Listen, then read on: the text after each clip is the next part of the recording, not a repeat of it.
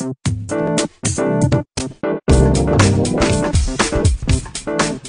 name is Val Sakovich and I teach the sports production class here at San Francisco State. I do the play-by-play and we go into um, doing the events for basketball, baseball, soccer, and the various uh, sporting events. I graduated in 1966 and was a BECA major. Started um, right away teaching uh, as soon as I got my doctorate.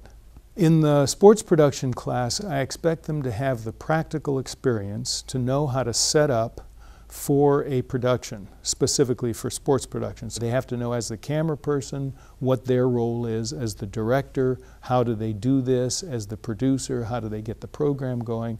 So for a multi-camera shoot, they have to know practically how to get this done. A lot of the students that come out of here can get jobs in the field as either freelancers or if they want to announce or do sports uh, news, uh, they, they're all over the U.S they are hired usually, uh, many of them are hired in sports as interns somewhere in the Bay Area. And maybe at AT&T Park, maybe for the Warriors, maybe, you know, in other production companies. And then they get their start this way and then can move up the line. Uh, those people who want to do announcing or sports news usually go to Iowa or some small town in the Midwest and start there and then gradually work their way up uh, the markets. My inspiration is the students.